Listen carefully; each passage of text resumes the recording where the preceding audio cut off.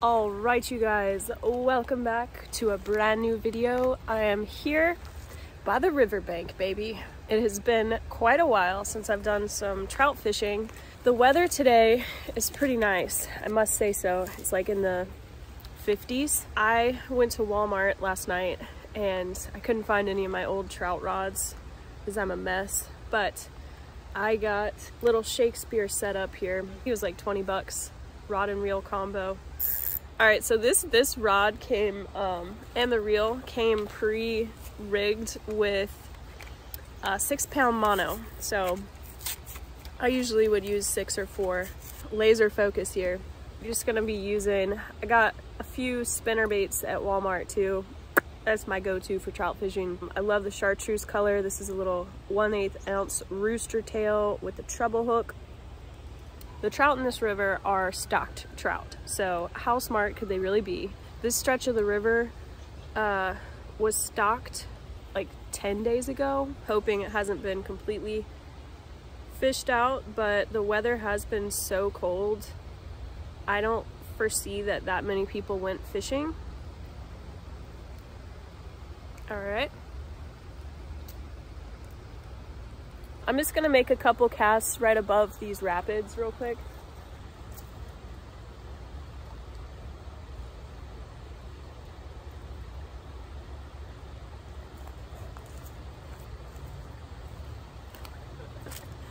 Well, looks like I'm having some malfunctions of my own. This thing has plastic on the reel still. I did not see that. Okay, it's in my pocket. Now we're good to go.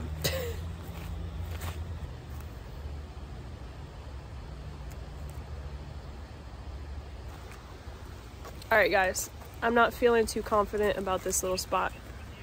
So I'm gonna move below the rapids a little bit. There's kind of a really nice eddy or whatever you would call it right below the rapids. So let's go check it out. Getting geared up? I'm getting geared up for this honey hole right here. oh, is that what that is? Probably. No. Oh, this is muckalucky.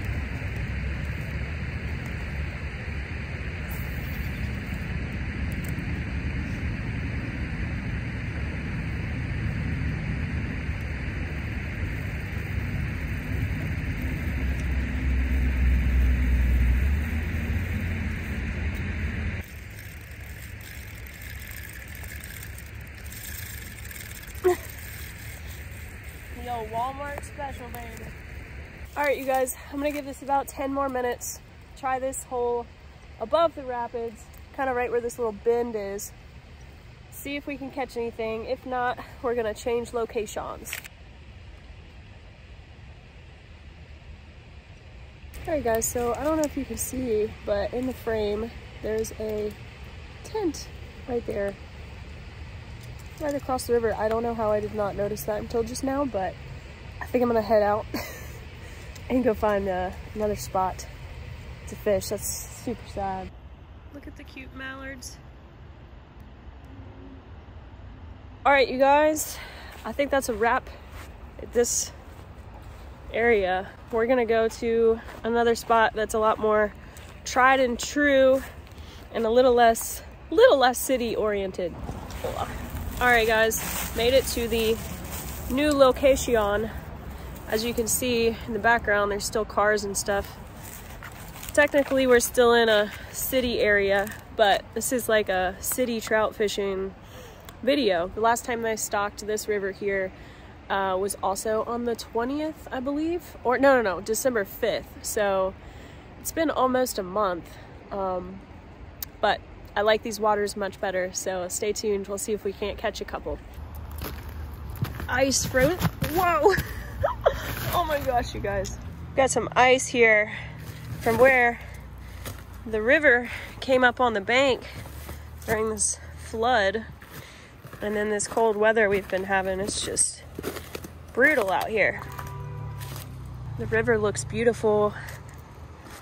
Uh, it's not too high, it's not too low, it's crystal clear. I spoke a little too soon. this uh, rapid does look like it's moving a lot faster and mightier than times past where I fished it. So I'm hoping the water level isn't too high right now to fish this spot, but only one way to find out.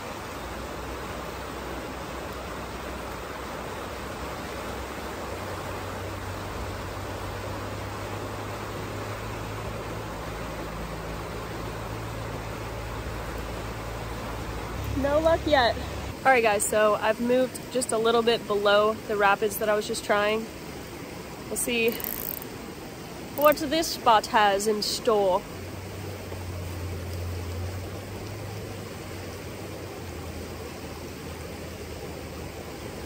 Ah, Andy just said that he's gotten one. He's a little bit further down the stream from me, so I'm about to hooge in on his spot because that's that's just what you do.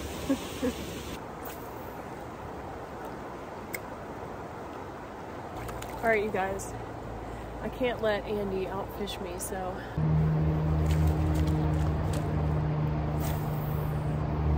What? What? That thing cast that far? Uh-huh. In the real place, too. Was that? Oh, it came out. Nope, didn't. Yeah, that's a gone lure. Maybe not. Smack me in the face with it. Look at that. Did you get it? No. Dogs. It's time to change. It's time to change colors anyway. No! I'm moving. Don't move. Back in action.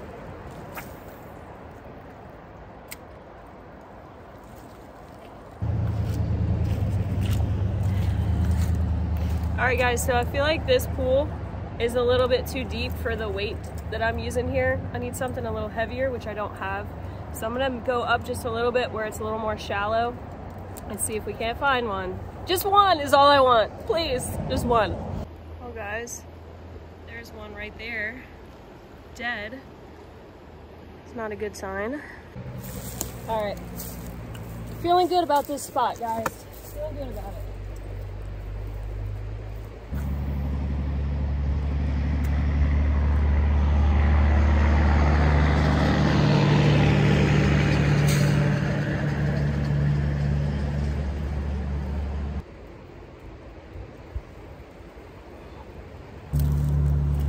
Oh, I don't want to skunked. All right, guys. This is the last shot for me here. Uh, last spot I'm gonna try. Changing my spinner one more time. Got this. I've been using gold blades all day. No bites, so. All right. Fingers crossed that this does the trick. It's a Hail Mary right here, guys. Just want one trout, one trout.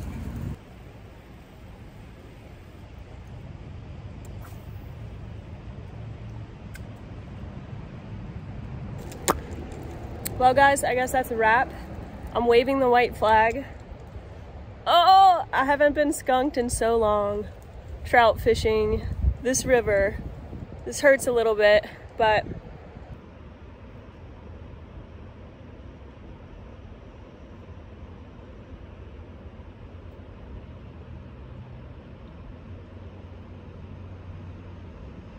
I've literally said this like 10 times now, but this is my true last cast, last couple casts here.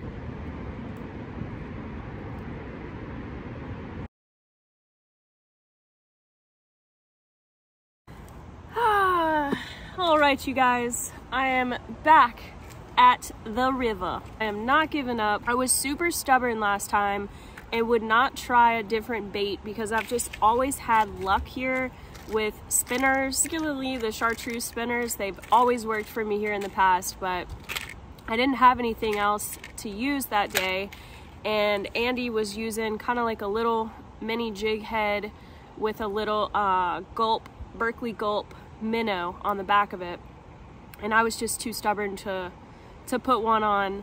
But obviously that's the kind of action that they were wanting. That's the kind of fall that they were looking for. So I brought out a new arsenal today to try out to try to redeem myself. Literally just left Walmart before I came down to the river and I got, I thought these were pretty cool.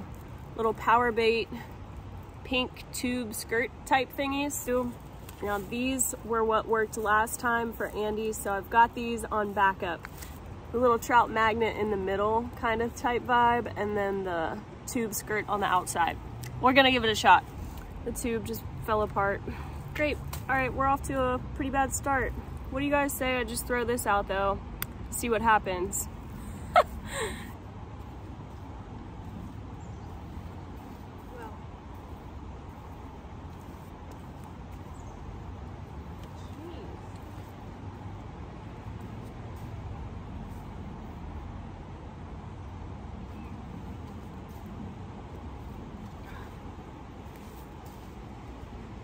Well, at this point, you know what? I could just restart this whole video over and act like none of that just happened, but that wouldn't be realistic. That wouldn't be relatable. I mean, you can't tell me, or maybe it's just me, I don't know, but I've been having the worst fishing luck lately. I haven't been able to do a lot of fishing in a while. I'm gonna try. I'm gonna just stop being stubborn and I'm gonna try the, the gulp minnow, okay? I don't know why I'm being so stubborn, but I saw with my own eyes that it catches fish. And I just need to, to give in to uh, trying something new that someone else recommended. Little realistic looking minnow. Let's try this bait out.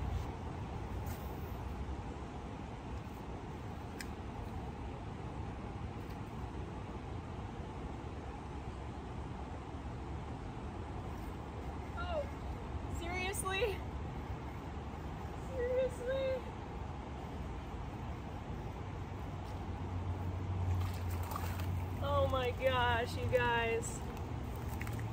Wow. Alrighty then. Okay, Believer. Shout out Andy. This is the juice. First cast with this thing.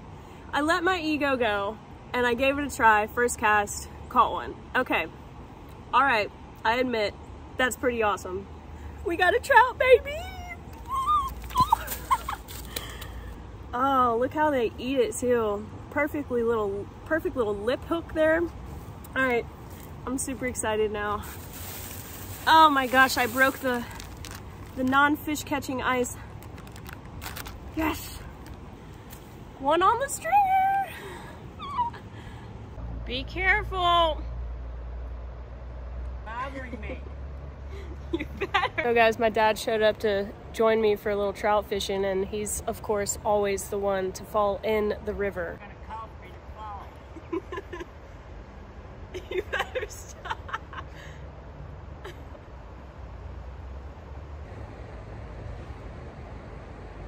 Stuck in the tree. Alright guys, so my dad claims that the fish are over here by this rock cliff wall. Yeah, this is where uh, he fell in and injured his ribs like a year or so ago, but he loves this spot.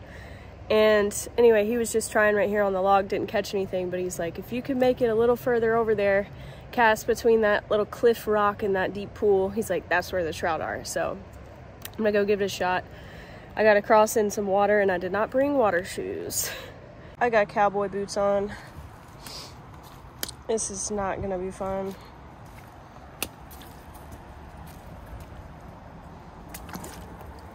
Dang it, Dad. Oh, dang it, Dad. Ha! I made it across. Okay. Okay.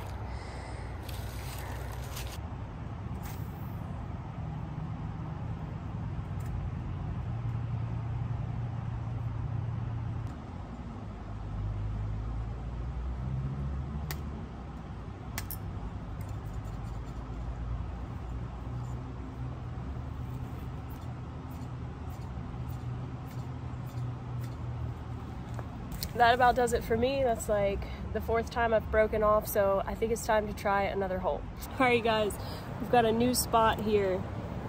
I need to re-rig because I broke off at the last one, but I'm gonna put just one of the smaller jig heads on there and a Berkley Gulp minnow.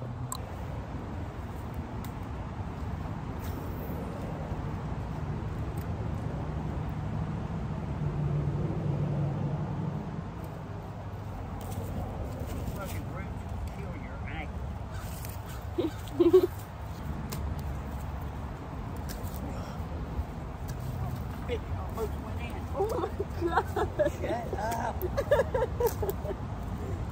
think it's funny? Right there in those ripples, that's where they are. I don't know whether you can cast up, pull down, but they, you know, I learned this a long time ago from Bob May. You can get at the foot of the ripples and cast up and bring the lure coming down with the current.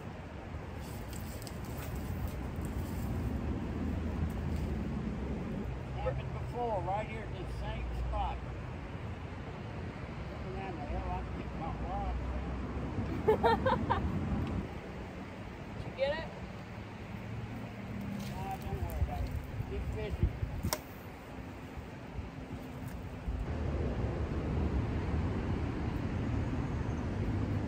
Make a few casts there. What's wrong? It's just hung up. All right, you guys, we're gonna give this one last hurrah here. About 10 minutes, this last hole. See if we can't make this one trout a pair and head home and cook them up for dinner. Oh, dang it. What? I had one on. You're alive. Oh, it was a nice one. That was super fun. I got to do some trout fishing on the river with my dad, which is honestly where it all started for me. I love, love, love, love those memories. I strangely only caught that one trout right there at the beginning. Nice little rainbow, and I mean, I would have liked to have caught some more. I wish my dad would have gotten one, but I am just happy that I've that I've redeemed myself and maybe, maybe shaken off a little bit of that bad fishing juju that I've had lately. I did end up keeping that one rainbow. I'm definitely going to cook it up. I guess days like this, every time I go fishing, I am reminded that what fishing and life is all about. And perseverance, patience, and just slowing down to enjoy the little things and appreciating nature. Loved every bit of it and finally got hooked up. So stay tuned for the cook and I'll do a little taste test for you guys. All right guys, I am down at the dock. I'm at the lake for a couple days, so I figured this will be a good spot to fillet this trout. I've had this nice little bow on ice all night and we're gonna get it prepared to cook. It is super windy today, so I hope you guys can hear me. I am not going to fillet this guy. I'm actually just going to simply do a little scaling. The scales, you really don't need to do that, but it's so slimy, it just kind of helps get rid of the slime. And then I'm just going to simply gut him because we're gonna be cooking this guy whole.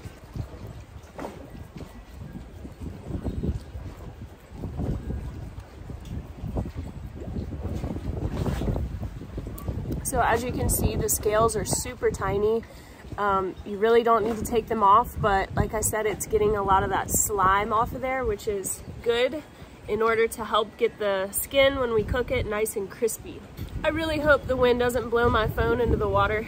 All right, so this next part is super easy.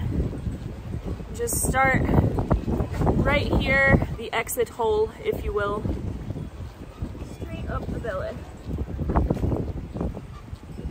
Without going too deep, all the way up to the throat, just like that. And then when you get up here, we can just cut the entire head straight off. And throw that for the minks. And then all of the guts just simply come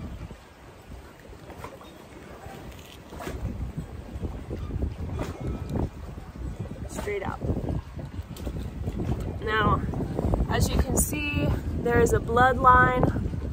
All of that needs to come out as well, but I'm gonna do that down in the water because you kind of can just break it apart with your finger and then wash it, wash it away with the water. Take my thumb and just break that straight apart.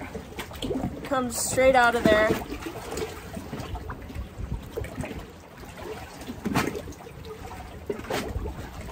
And now we have a beautiful, freshly cleaned rainbow trout. Let's head to the kitchen, baby. All right, guys, obviously we've made it to the kitchen and I really have limited ingredients here because um, Andy and I don't spend a ton of time here at the lake. Uh, we're usually at the farm, so it's kind of hard, hard to have fresh groceries at each place all the time. Um, but with that being said, I want to show you guys how delicious you can make a simple trout with simple ingredients. Little rainbow, and I like to pat it nice and dry. So again, we are going to do everything we can to get that skin nice and crispy. You can use olive oil or butter, but this is the best of both worlds. It's, um, it's butter with olive oil in it. I feel like I like the mixture of using butter and olive oil because in my experience, it makes it nice and crispy. So we're definitely not gonna be shy with the butter. I'd say at least two tablespoons of butter in there.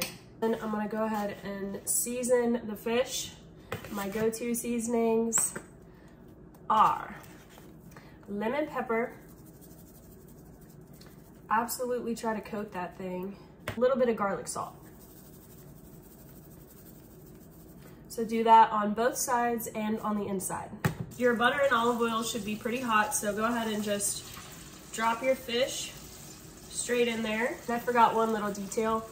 Um, it's actually easier to season the other side of the fish once it's in the pan so none of that seasoning comes off.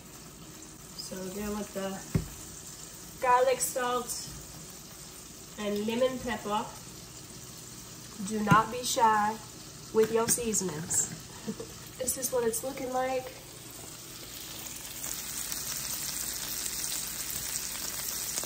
I would say timing wise, probably two to three minutes on each side. I feel like I should have used a cast iron pan to get the nice crispy skin that I'm looking for, but um, so yeah, if you do this, use a cast iron pan. I feel kind of silly doing a step-by-step -step with this because I feel like most people have cooked trout before, so comment down below what your what your favorite trout recipes are and I would love to try them. All right, I think it's ready for a flip. Thing is burning just a little bit, but it's okay. We've got a little bit of a crispy skin, crust on the skin going there. So yeah, I'm gonna give it a couple more minutes on this side and then I'm gonna show you guys what I'm gonna do next. Okay, we're gonna go ahead and turn this baby off. I've got a full-blown audience in here. There's Bruiser, Elo, and Charlie. All right, so next I'm going to squeeze, I would use a lemon, but again, limited ingredients here. I got a lime though, so just as good. I'm gonna squeeze that all over the fish and the pan to really loosen up all of the seasonings that's stuck on the bottom there. I'm gonna do some garlic leftover lime slices here. I'm just going to add them, throw them straight into the fish, inside the cavity of the fish. I've got the oven on broil. So I'm gonna throw this fish in there just for a few minutes. The trout just came out of the oven and it is piping hot. We got a nice crust on there, nice garlicky smell with some fresh citrus limey juice. Obviously, I've got to do a taste test for you guys. That's just what I do. This thing is super hot right now, obviously, but I'll take these lime pieces out and show you guys that a benefit of cooking it whole, ooh, it's hot, can literally take out all of the bones with one sweep. There they come. The bones just pull out, the whole skeleton pulls straight out, and then you can just kind of rake the meat, rake the meat straight off of the bone. Look at that. No bones in there at all. Mmm. You guys, it's so good.